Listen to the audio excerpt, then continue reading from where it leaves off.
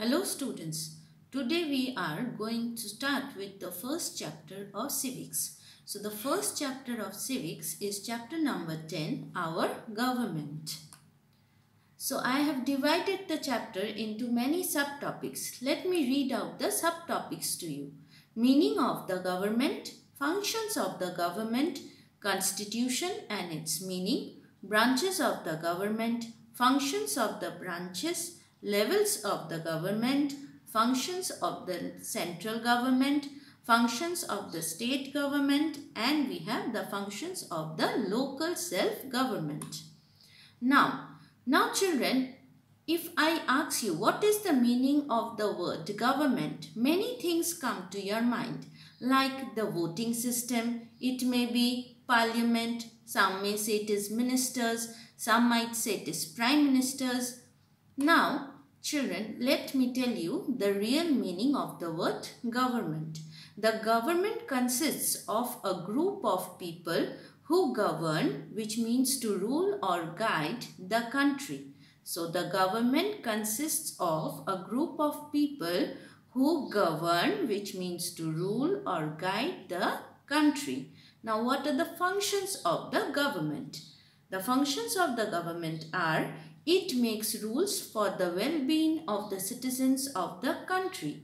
It makes sure that the laws are followed by all and throughout or everywhere in the country. So, all laws are same for everyone and for everywhere in the country. It also works for providing the basic needs of the people that is the food, shelter and other facilities. Now we will move to part 2 of, of our government. So in part 2 children I will discuss what is constitution. A constitution is a set of rules that guide a country or a state about how it should work for the country or the state. Now in India, India has one of the oldest written constitution. It states which means to tell the laws about how a country should govern or rule. It also equally distributes the powers between the different levels of the government. Here you can see the book which is known as the Constitution of India and here all the laws are written which we follow as a citizen of India.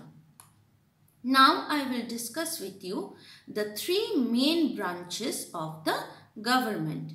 The three main branches of our government are legislature, executive and judiciary.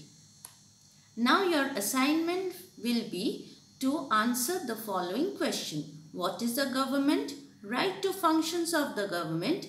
Draw the diagram showing the three branches of the government. Thank you children.